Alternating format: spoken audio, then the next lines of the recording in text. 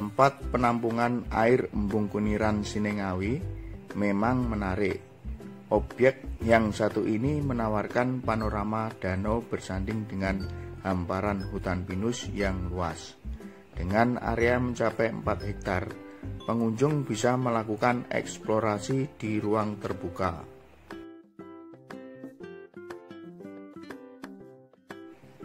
Meskipun sebenarnya hanya berupa bendungan kecil atau orang menyebutnya dam, namun letaknya yang berada di tepi hutan pinus menjadi lokasi ini sangat bagus buat foto-foto hingga berkreasi.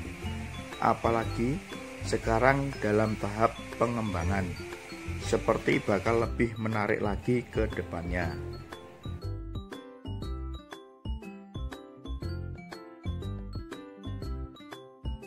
Objek wisata yang sebenarnya berupa bendungan kecil ini bisa kamu jelajahi dengan harga tiket 2K saja.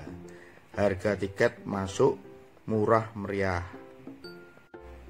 Dan bisa muter-muter sepuasnya di area tampungan air maupun di hutan pinus.